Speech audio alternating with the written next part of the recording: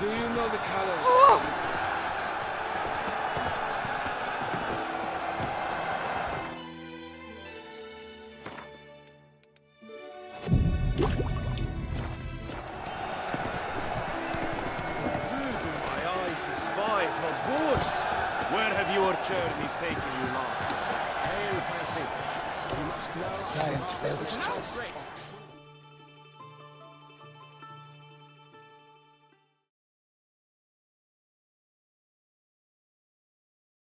Need to speak to the Duchess, urgently. All right, you scamps. Story's done. Go find your parents. But the Palmerin, what about the story of Rittik and the dragon? My tales for another time. But take a good look at the man who stands before you now. This is Geralt of Rivia, the master witcher who lent his valiant hand to the defeat of the giant Goliath. Master Witcher, is it true virtue always trumps villainy?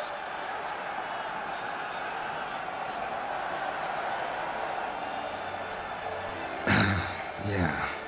Virtue always wins. But the Black Knight, he's a villain and he wins. The cutter of Casteldacia, too. Moral victory. That's what counts. Rubbish. Now, that will do for questions.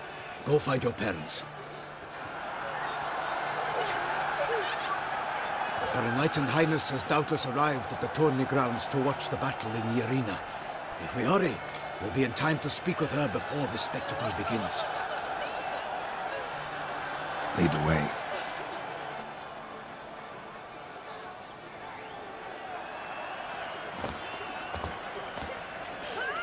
Who's fighting? Nilfgaardian gladiators? Close, but not quite. As you'll soon see. Someone's gonna fight a Shaelmaar? With only some bells on its tail to confuse it, slow it down? Whatever is the problem? The beast is a gift from the Emperor, no less.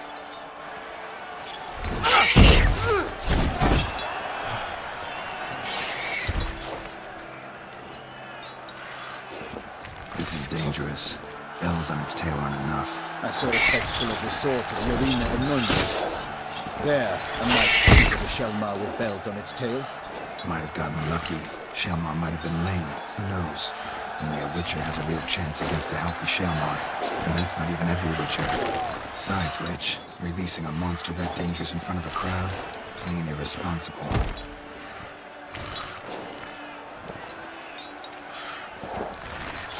Let's go.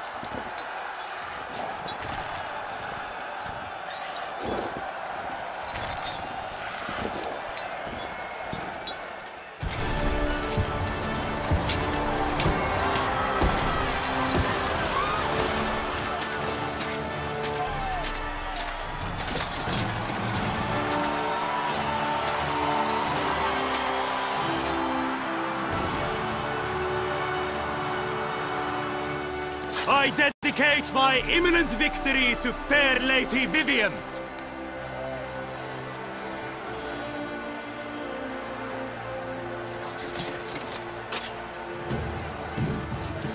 It's begun. The fight shall have to end first. We must wait.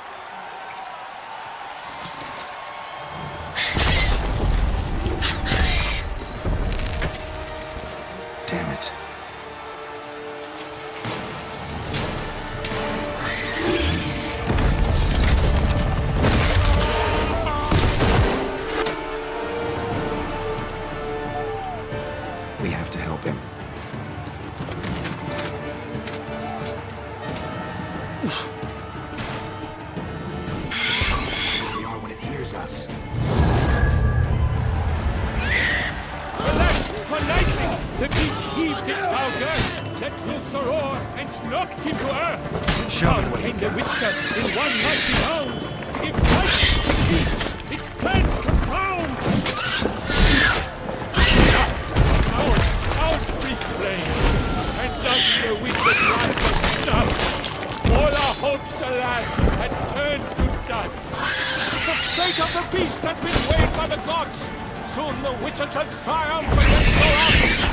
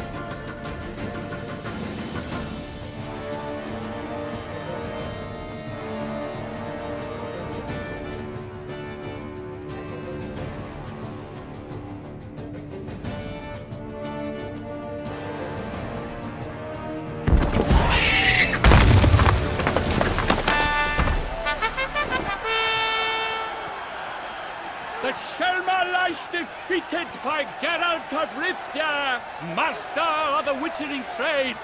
Behold, as the last gasps of life seep from the beast.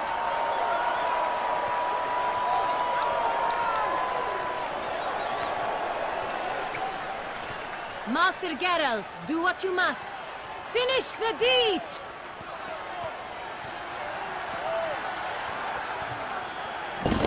It's suffered enough.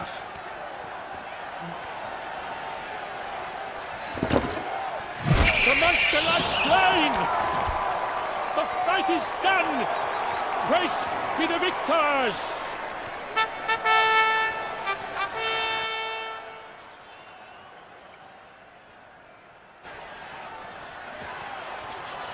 Guillaume, The lad came damned close to dying.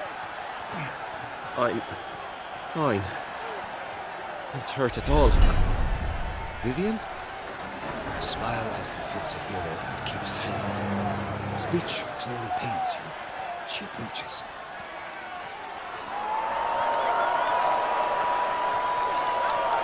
Geralt. We must talk. Vivienne. You shall talk later, in the medic's tent. Geralt, magnificent, breathtaking. Your Grace. We knew that to summon you was a brilliant idea. We are delighted, ravished to have struck upon it. And I'm truly uh, honored. See to our young hero. Hop, hop. For we must make off with Geralt. We should talk. We had been long awaiting your arrival. Had nearly lost hope. Then suddenly, that entrance, so spectacular.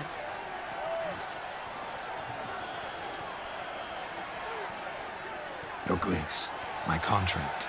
I'd like to discuss it. Naturally, but not here. We shall need Damien. He led the investigation pending your arrival. But wherever could he be? Come, we must find him.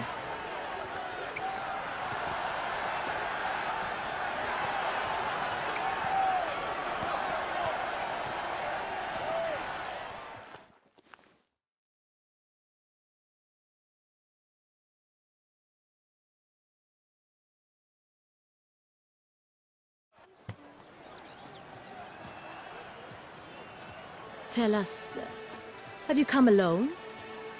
Or did Viscount Julian accompany you? Wish to see Dandelion, Your Grace? Yes. I mean, no. Ugh. Yes. But solely to tell him we regret. Yes, deeply regret rescinding the death sentence we so justly handed down upon him.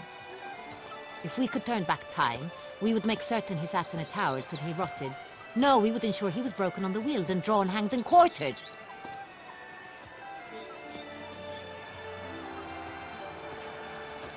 Ah, the very man we would entrust with these tasks.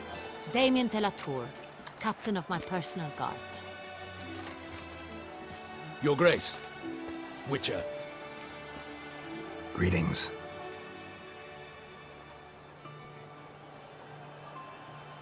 I examined the body of the beast's last victim. Might have found something. Need to analyze it.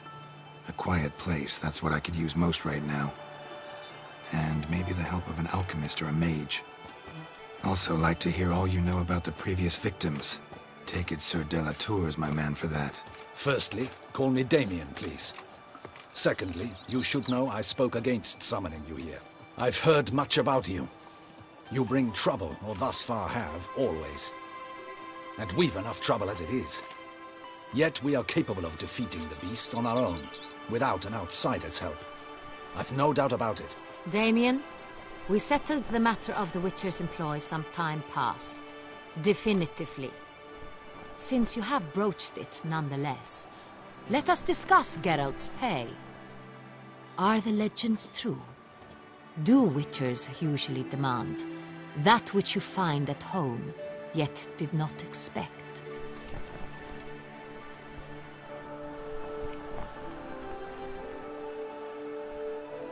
Yes, Your Grace. The law of surprise. Time honored. Hmm. We shall becant it.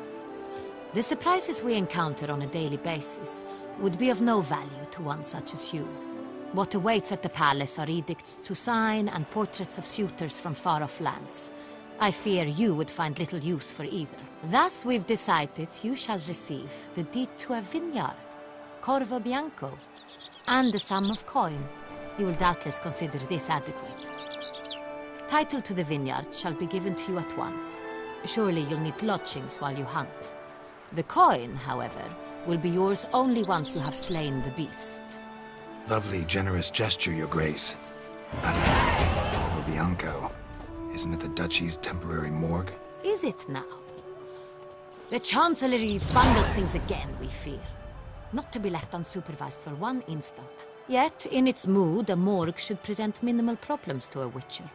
What's more, nothing enhances a wine's reputation better than a grim legend. Thank you, Your Grace. I accept the contract, of course. But as I said before, I'll need some information.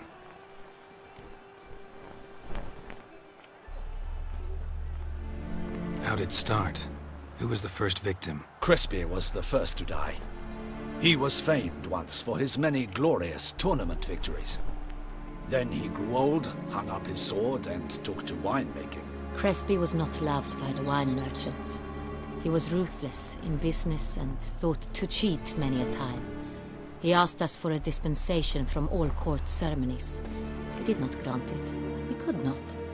Once you've taken the oath of a knight, you remain a knight till death. How'd he die? Where'd they find the body? Quite unusual, the circumstance. He was at a feast when suddenly one of his fellow feastgoers noticed he was missing. The town watch found him an hour later.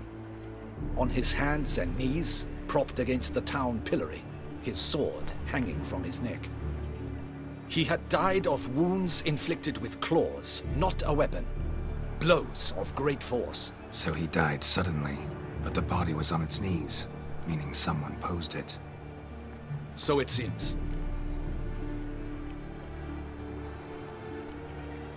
Second murder. Tell me what you know. In the city, there are certain nooks. No one reasonable ventures there after dark. Ramon Dulac's corpse was found in one such place. With the first murder, terror gripped the city. Its inhabitants grew wary, kept to safe areas. Consequently, news of the second victim came to us from a group of concerned cut purses. Criminals fear the beast? Telling in a way. Take it you've excluded the possibility that Ramon died at the hands of these bandits. Do you believe me an amateur? Not hands, but claws killed Ramon Dulac. The wound was deep, clean. His body was found in the gutter, dressed in nightshirt and cap, a pillow placed under his head, and his sword replaced by a bed warmer. Ramon Dulac, a knight who but a dozen years past was an advisor to our father, the Duke. Someone went to a lot of trouble to make him look ridiculous. Maybe revenge was the motive. It's not out of the question. Dulac had shady dealings with the criminal underworld, but no one ever came forth with concrete proof of any misdoings. So, first two victims were knights, best years behind them. The same could be said of the third.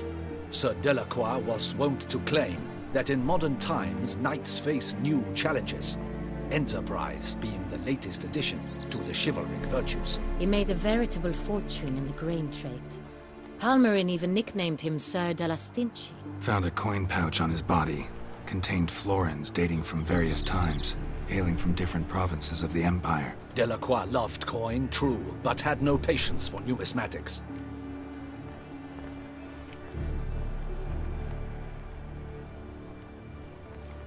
Lots of similarities between the victims.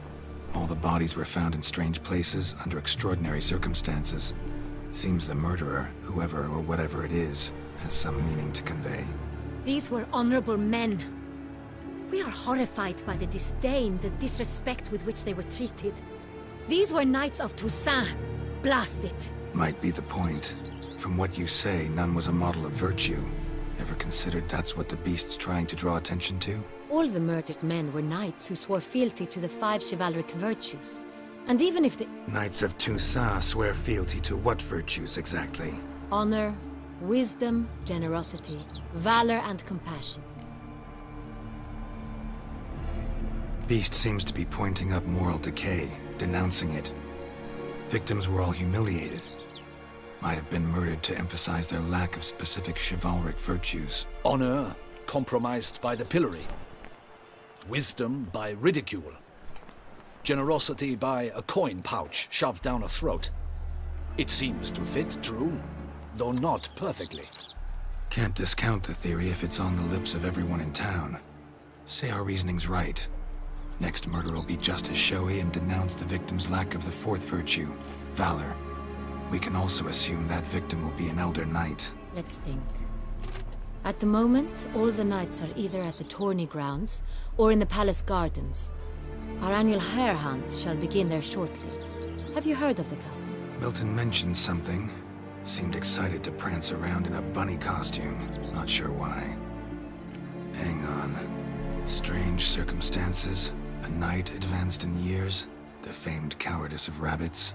Could it be that simple? Is Milton de Peyrac Peyran the next victim? Milton also knew Delacroix. Told me so down by the river. Damien! To miss something so obvious.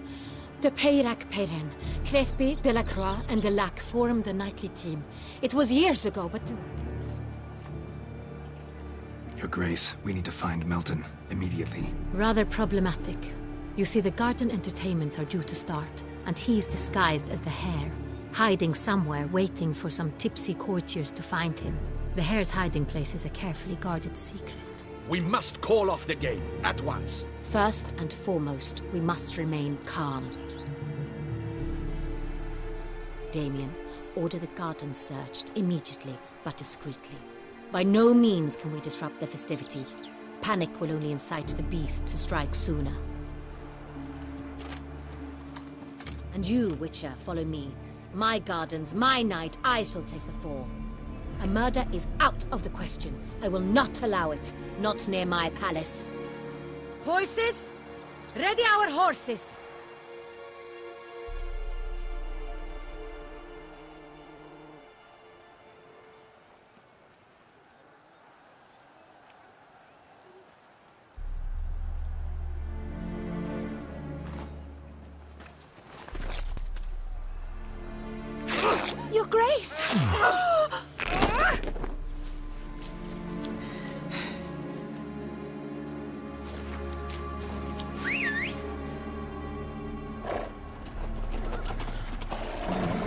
What the hell?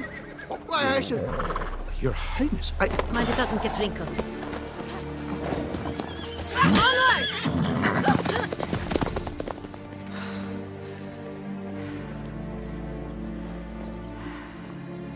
Hey! That is silk! Be careful! Give it to me!